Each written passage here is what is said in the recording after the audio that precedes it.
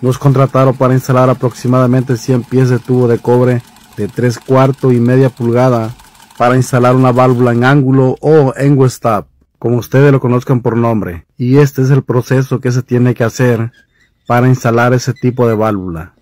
Y así no vas a tener fuga de agua.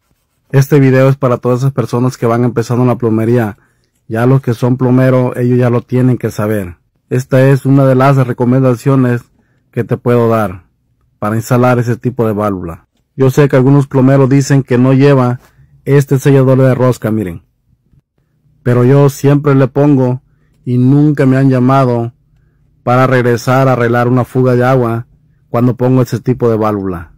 Y les voy a pedir algo muy pero muy importante para todas esas personas que les gusta ese tipo de video, que vean todo el video completo y que le den corazón para nosotros motivarnos y subirles más videos.